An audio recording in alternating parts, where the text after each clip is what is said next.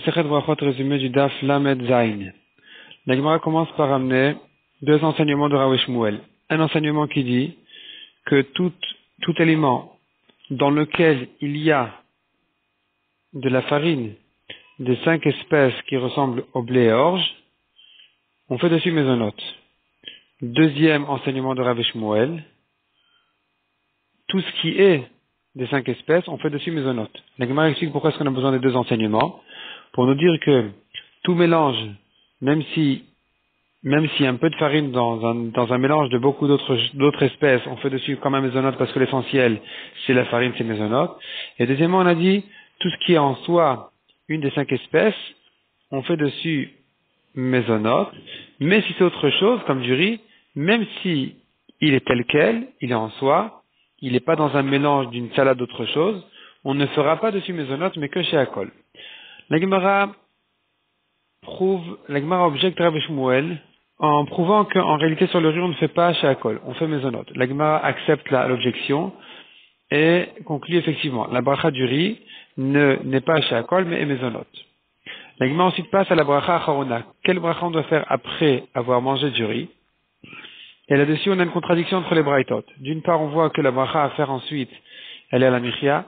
D'autre part on voit que la bracha faire après avoir mangé le riz, elle est Boren Fashot.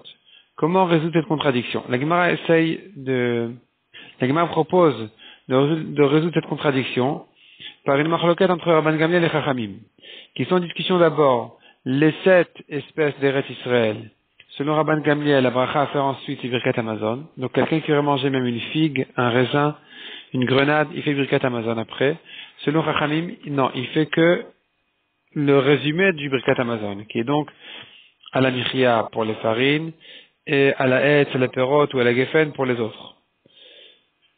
Et deuxième discussion, selon Rabban Gamliel, tout ce qui est fait à base de farine, donc de, du blé de l'orge par exemple, même si ça a été cuit à la marmite, et ça n'a pas, ça n'a pas du tout été cuit au four, c'est pas devenu un pain du tout, mais que à la marmite, on fait dessus selon Rabban Gamliel comme des pâtes, disons, pâtes, couscous, etc. On fait dessus selon Rabban Gamliel, birkat Amazon. Selon Rachamim, non, on fait à la michia. Et donc, euh, et donc, euh, et mais, mais, pardon, ce qui n'est pas blé orge, là, selon Rachamim, on fera ensuite boren et fachot, comme le riz. Donc on voit clairement que selon Rachamim, c'est boren et fachot. Et la Gemara voulait proposer avec ça de résoudre les contradictions entre les braïtot. Selon euh, Rabban Gamliel, après le riz, on ferait à la michia. Selon Rachamim, après le riz, on ferait boren et fachot.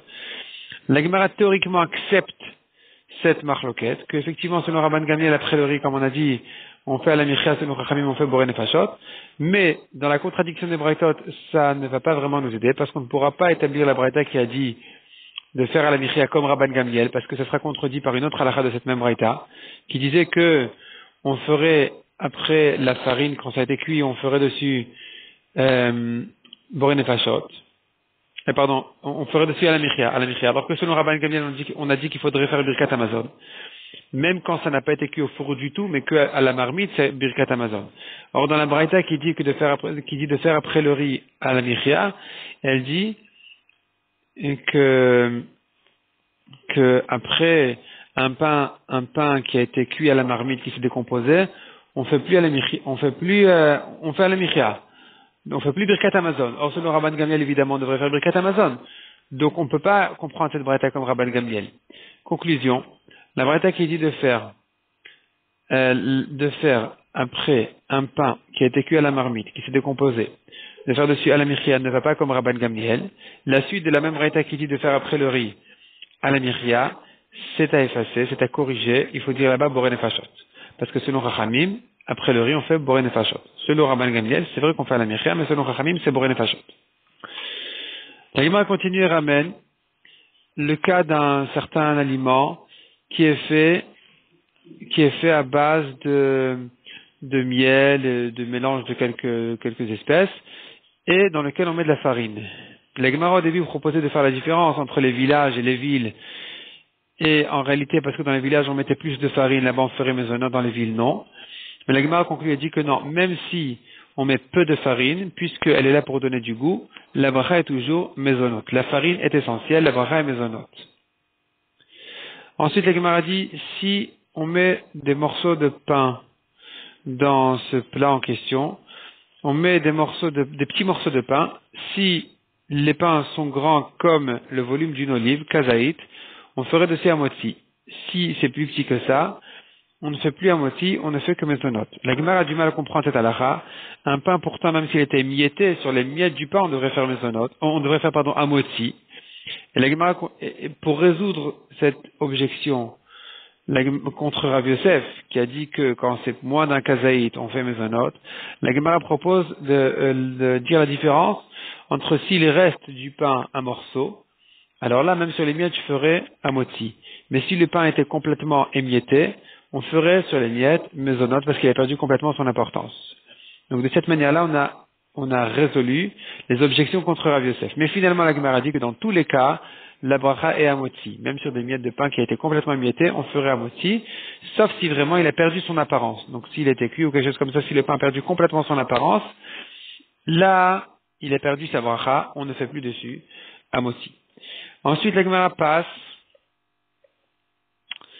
à un certain, une, une pâte qui n'est pas aussi importante que le pain. Elle a été faite elle était faite de manière très légère, comme de, l'eau et de la farine, qui ont été versées quelque part de, quelque part dans le four, et ensuite ça a cuit parce qu'on a chauffé. Donc c'est pas un pain important, ou d'autres sortes de pains de ce genre-là, ils sont dispensés de challah. On n'a pas besoin de faire le prélèvement de la challah de cette pâte-là, de ce pain-là, sauf s'il dit l'agmara, dans un certain cas où on l'a fait vraiment avec une belle forme, on lui a donné une importance de pain, on devra lui prélever la challah.